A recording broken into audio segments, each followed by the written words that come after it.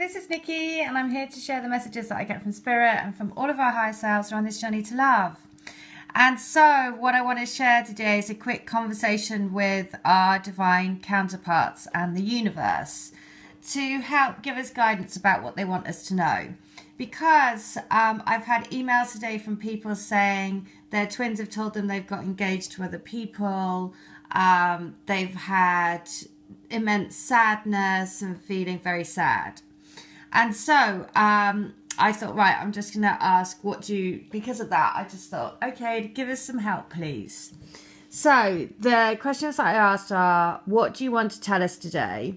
And it is the 47 card, which is, of course, number 11, which is the sacred pool. So it's about realizing that you, and there are so many water cards here, which is all about emotions. So, um, you know, the sacred pool is about looking in the mirror of the sacred pool of your twin and showing what are the things that you need to let go. And so, because realizing that actually you are together at the heart already, and anything that they're doing up till now and on their journey is because you are both on a soul growth path together. Um, and of course, that may mean having other people involved because we learn our lessons from the relationships and people that we come across. And so it's just all part of the journey. And so then it's about having appreciation for all of the people involved in your soul growth. So, what do you need me to do to help you? And so this is what do, does your twin want you to do to help them? And it is the magic stream and it is number 18, which is number nine. And so the magic stream again is about flowing in, you know, go with the tide, flow in the water, cleanse your, you know, cleanse, purify yourself of all fears, anxieties, worries, and trust that your union will come in at the right time. Because what then the question was, what do you want us to focus on? And it is the coming to life card. So it is also number 29, which is 11. So if you see either side of the magic stream, there is 11, 11. And so it's basically saying that, you know, come to raise your own light. She's actually holding her own lantern of light up here. The more you come into your own power, the more you own your own light, the more you will trust in your union. So what's blocking at the moment? And it is the bone collector card. And so I'm going to read this um, through because this is the element that is blocking at the moment.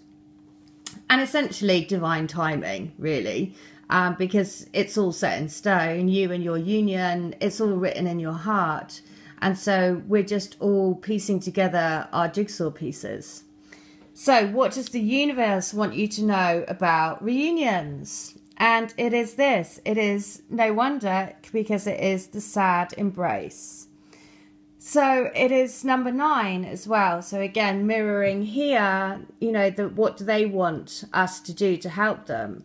Magic Stream and the Sad Embrace. So basically, it's saying let go of this sadness. The sadness again has come up as an emotion to be let go of.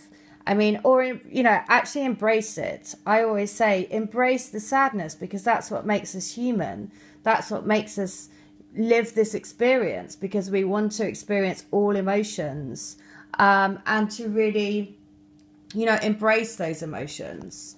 Um, so the next, the union, uh, the universe also wants to tell us about the dragon's lair, which is brilliant because this is number 19, which is 10, which is 1. And in order to have the new beginnings, this is basically saying, you know, um, it will challenge you to the core and the fear that you feel when you first go into a new relationship. But you know life is to be challenged. You have to you have to basically jump on board the ghost train. So um, what does the universe want you to focus on? And it's this and it is the coming together card which again is so lovely because it's number eight which is infinite love endless love you know, knowing that you will always be together. The also the giraffe sees from a higher perspective and also the twin hearts and the triple heart on top. So it is about focusing on coming together and living that union, being the vibration of your union now, because then you trust, trust, trust, and it will make you much um, more able to ride those emotions. So, what does your divine counterpart want to tell you today? And it is the sacred pool, which is this. The world is a reflection of your thoughts, feelings, and beliefs. Embody the love you wish to see in the world. When you look into the mirror, do you like what you see? The Sacred Pool card asks that you focus on self love and self esteem. We are all works in progress, so a detached self examination made with rigorous honesty is called for now. Reflect by the sacred pool and be at peace with yourself. Can you see how far you've come and how magical your life is? Do you notice the spark of the divine shining through your eyes?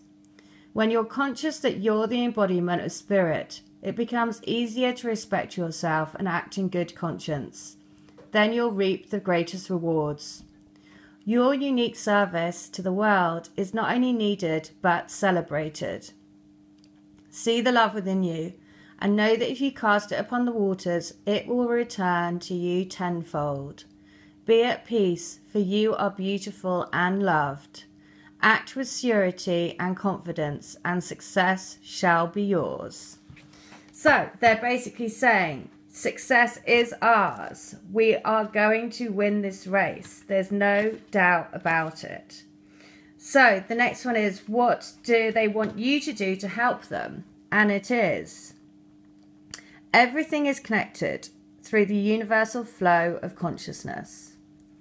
Every experience you have seems to have its own life story, with a beginning, a middle, and eventually an end.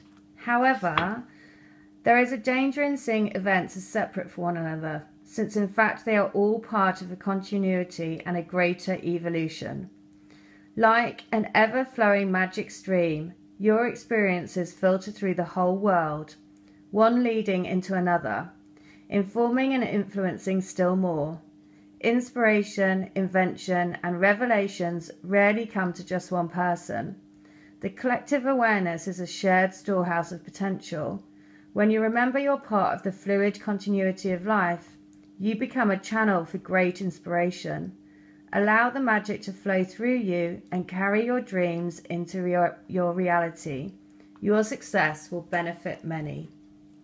So, keep sending out those positive intentions, keep dreaming big, keep um, living your union because that's again what it's saying. It's saying that we are rising up in our collective consciousness so the more that you do that, the more that you will send those thought waves to your twin. So, what do you want us to focus on? And it is something beautiful is being born into life. When you look at your life, can you see how you've grown and evolved over time? Perhaps you've shed skins and identities and created new ones, or at the very least, matured in your ideas about yourself and the world you inhabit.